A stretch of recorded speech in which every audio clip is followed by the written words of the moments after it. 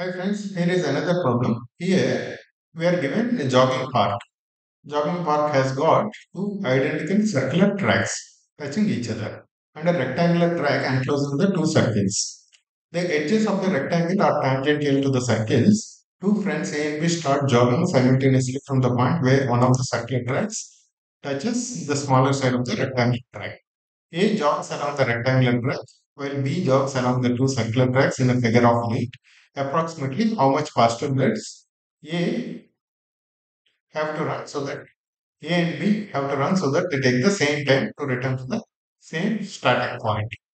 Right. In this kind of problems, geometry problems, geometry related problems, first we should draw the diagram properly. Once we draw the diagram, rest of it will become a cake cakewalk. Right. The diagram is not given in the problem. I have drawn this. Let's see. Here is saying two identical circular lines. Right. Two identical. That means the radii will be same.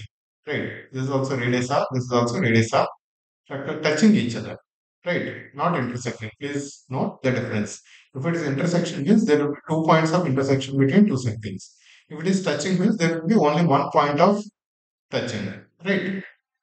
And rectangular track which is tangential to the circles. That means outside the circles, right? Inside the circle we cannot have a tangent, right? Tangent means it is going out. It is touching and going out of outside the circle only.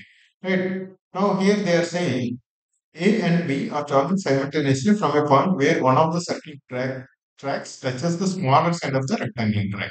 This is the smaller side and one of the circle sides that is this. You can take this point also or this point in our convenience. In this case, we are taking this point.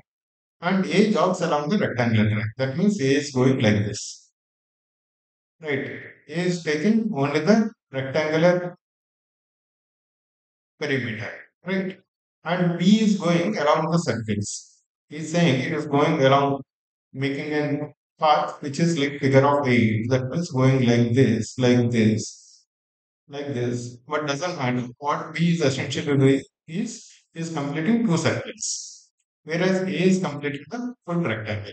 Now, how much fast A and B have to run so that they take the same time? Same time.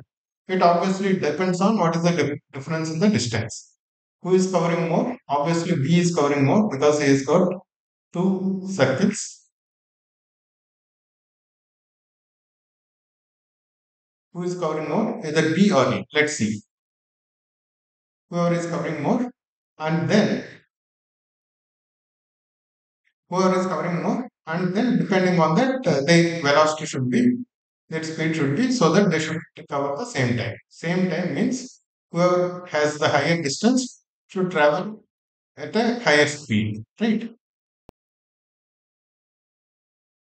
How much is A covering? A is going on the rectangle. Rectangle. What is the perimeter of this rectangle? One, two, three, four. Four arcs. Length is four r. Right. Four r. Length is four r, and height is two r. Right. Four r plus four r plus two r plus two r. Right. This is the overall distance the A is covering. Right. This is 4, this is 4, 8, then 2, 10, then 2, 12, right? This is a 12 R for A. What is for B?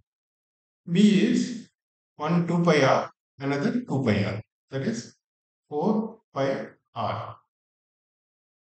Right? One is 12 R, another is 4 pi R. Right? Obviously 4 pi R, 4 into 3 point something. Pi is 3 point something. Right? Is greater than 12 R. So what is the difference? 4 pi R minus 12 R Right. That is that is the additional distance B is taking, right? By 12 R into 100% into 100, right? We can remove all R's, right? And we can simplify this 4 pi minus 12 by 12 into 100, which will give us roughly 4.72%. Right. That's that much B should run faster than A. Right. We should be able to cover that extra distance, right? Because time is constant. The difference in speed should be equal to the difference in distance. The difference in distance is 4.72%. So the speed difference should be 4.72%. Right. Hope you guys understood this. The problem is again very simple, just like just that it looks verbose. But in reality, it is very simple. We just need to calculate perimeters of a rectangle and, and a circle. That's it. Thank you guys.